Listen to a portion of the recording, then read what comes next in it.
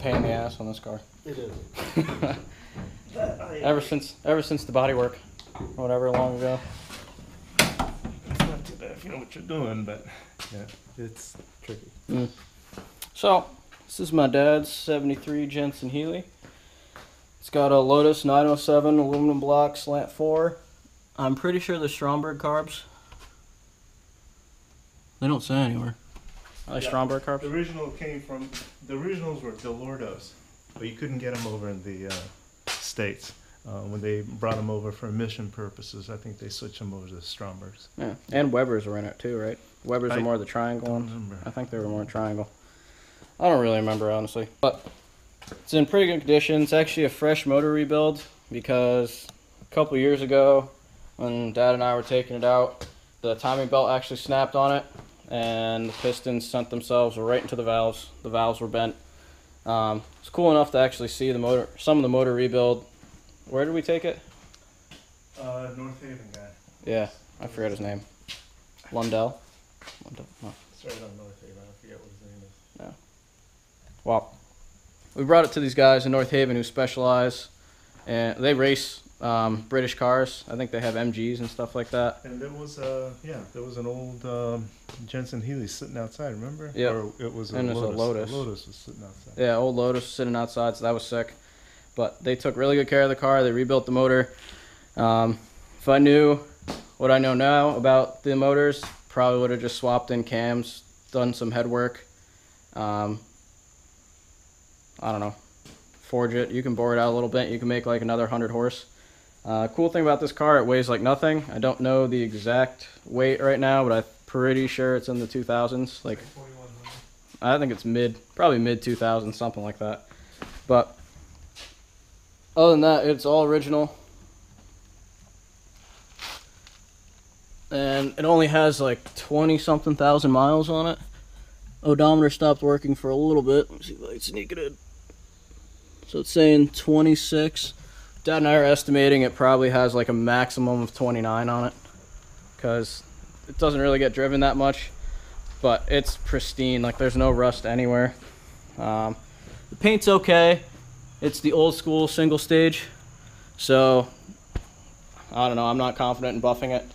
And there's some chips and stuff from guys who work on the car, which Dad was not happy about, especially this ding right here.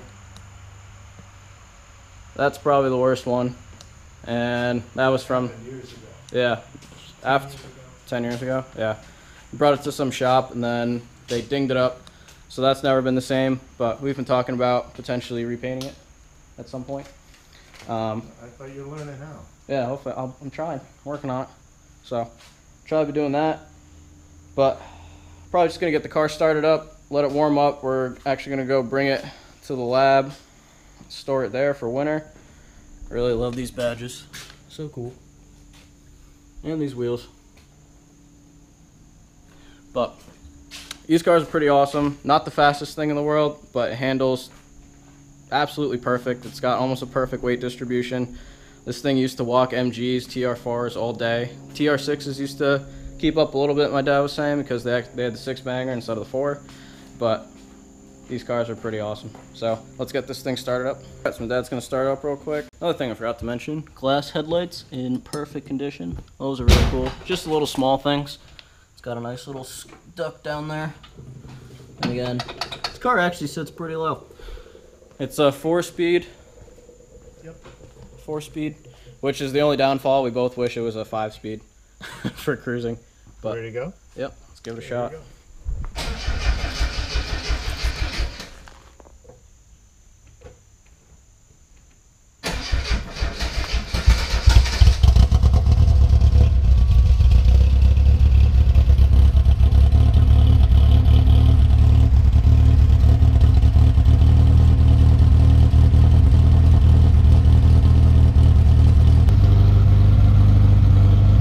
I cut it. Start cutting it a little.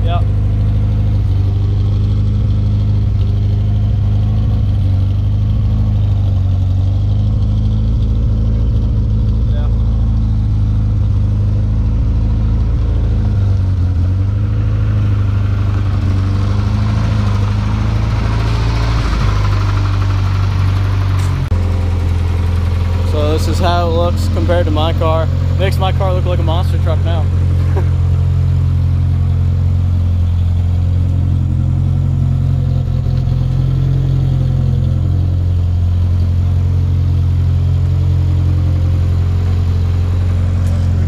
yeah.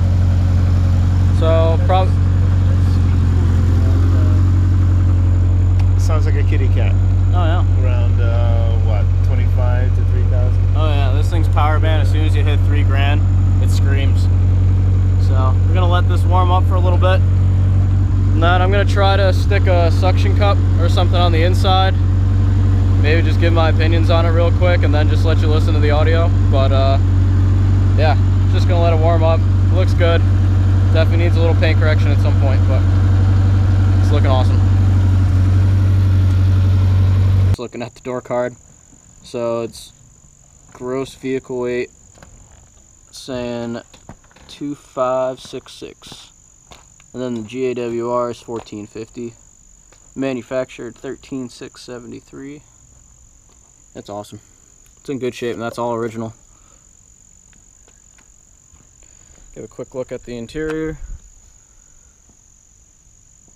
I really love the gauge set out in here it's just so simple and it's all directed to the driver and little air nozzle things are sick. Those actually used to be painted gold. That's just been fading. And then the four speed.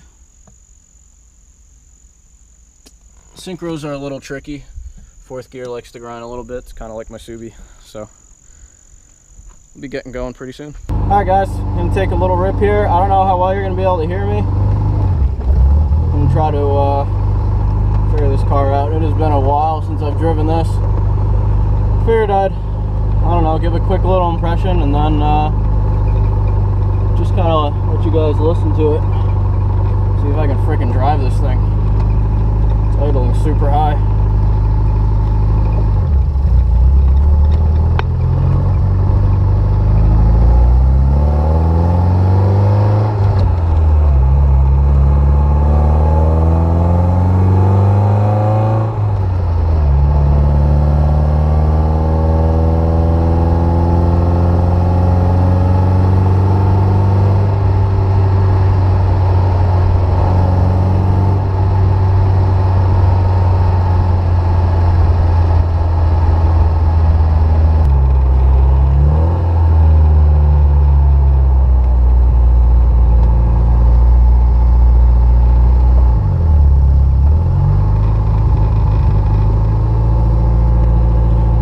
thing about this car, four speed, super, super light clutch and it sits really low, so I can barely see anything, I'm not gonna lie. I gotta fuck with this idle a little bit.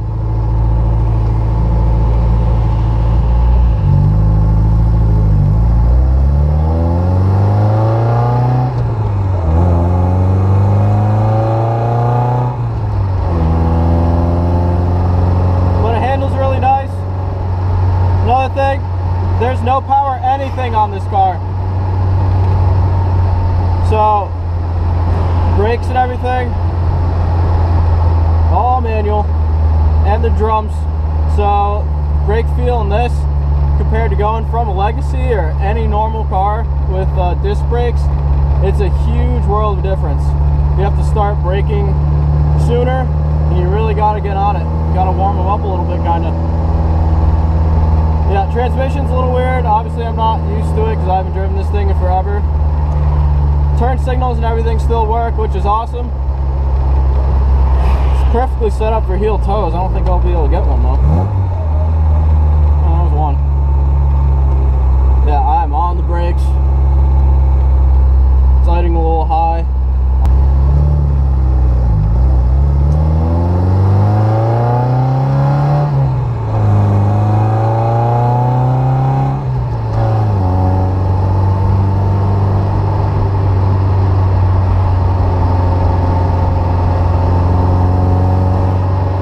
So you guys probably can't see on camera, but you gotta, this steering wheel's got a lot of play in it.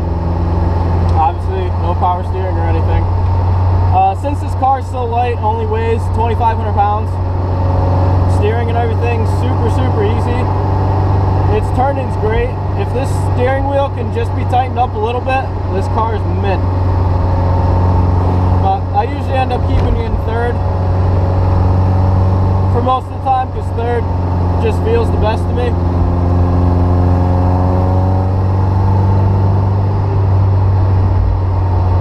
And fourth is a little tricky. You have to give it some time. really not trying to fucking grind gears on here. so, but steering's great. It's got some body roll, but it's still planted, if that makes any sense. Hopefully I don't have to freaking stop up here.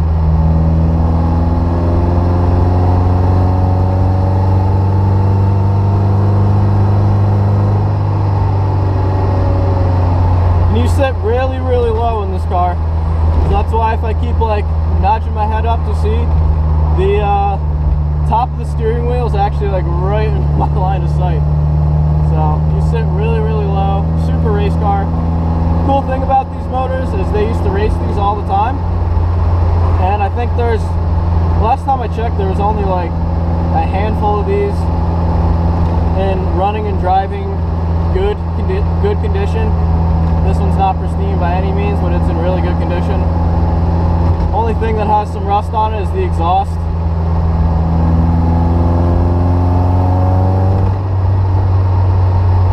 I think once I get in second, it'll do some snap, crackle, pops and stuff.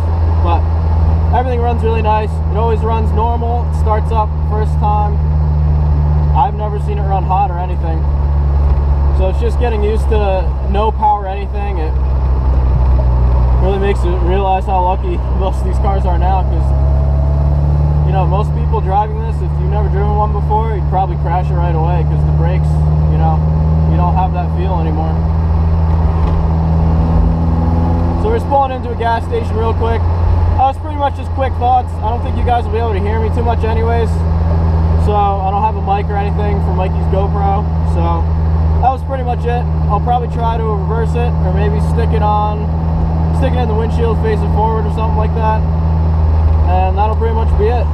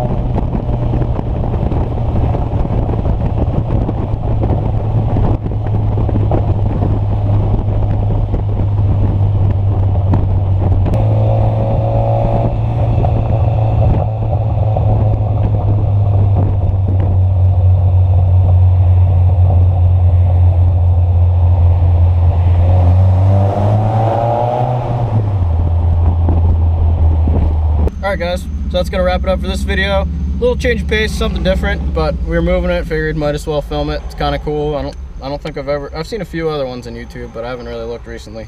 Uh, another thing to point out is the pedals are super super close together. So if you got big feet you're gonna have problems driving it. Um, or you have like wide shoes or something like that. So my wide shoes are just when i go to brake i hit the gas at the same time. It's funny. But uh there's a look at that pretty close together. Perfect for heel toe. Actually, it's more toe toe on this one. But, and the clutch is super, super light. Engagement point's like right here. About half, a little more, three quarters up. So, that was that. Car ran mint. Hope you guys enjoyed. Like, comment, sub, uh, share. Appreciate all the support, guys. Catch you on the next one. Deuces. Yeah.